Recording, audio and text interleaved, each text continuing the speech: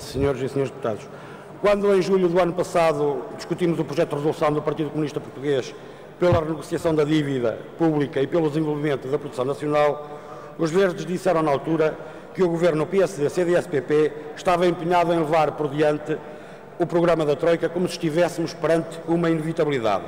Passou mais de um ano, vieram os sacrifícios, veio a austeridade e os problemas continuam por resolver.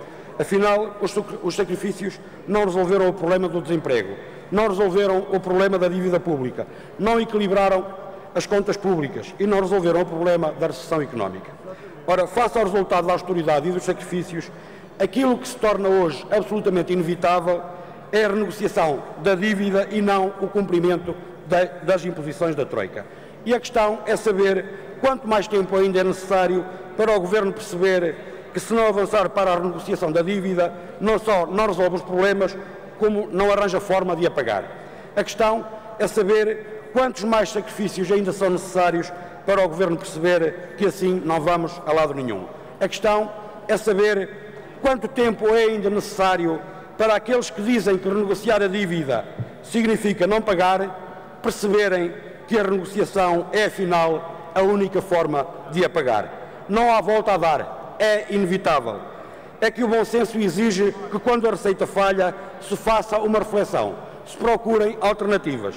Mas o Governo insiste na mesma receita e os resultados agravam-se de dia para dia. Os portugueses estão a ser submetidos a um conjunto de sacrifícios nunca visto. Vivem com uma carga fiscal pesadíssima, assistem à redução dos seus salários, das reformas e das pensões, veem aumentar o preço dos bens essenciais, aumentam as dificuldades de acesso aos apoios sociais, os serviços públicos perdem qualidade, a saúde e a educação conhecem cortes nunca vistos. E o mais grave é que estes sacrifícios estão a ser em vão, não estão a resolver nenhum dos nossos problemas. O desemprego real já ultrapassou os 20%. O número de falências não para de crescer. A dívida aumenta. A recessão veio para ficar. O país e os portugueses estão mais pobres.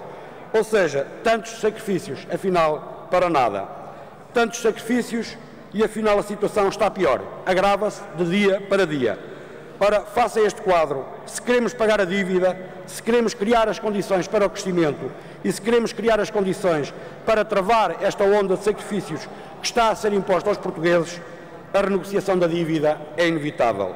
E quanto mais tarde, pior. É exatamente por isso que os verdes entendem que só nos resta um caminho. E esse caminho começa pela renegociação da dívida para depois nos virarmos para a produção nacional, porque se não produzirmos, não criamos riqueza. E se não criamos riqueza, nunca teremos condições para pagar a dívida pública, nem sequer para ganharmos credibilidade externa. E neste sentido, os Verdes acompanham os projetos de resolução, as iniciativas legislativas que hoje estão em discussão. Muito obrigado.